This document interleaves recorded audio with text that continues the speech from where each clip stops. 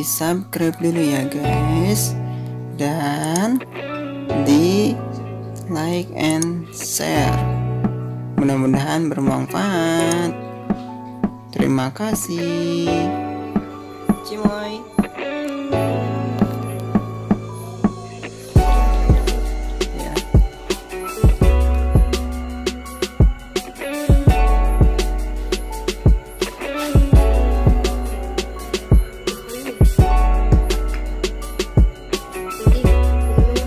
apa diairin ke bapak?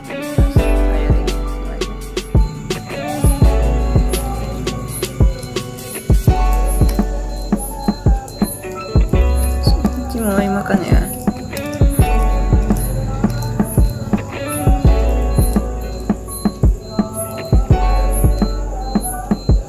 Pembiasaan memakan cat food yaitu dengan cara membasahinya supaya mau memakan karena aromanya itu kalau di air pakai air hangat itu akan menyengat.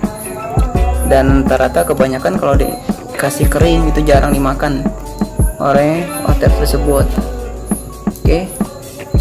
Itulah cara bagaimana membiasakan otter agar bisa memakan cat food. Ini awalnya benar-benar enggak sama sekali memakan cat food cuman hanya memakan eh, ikan lele doang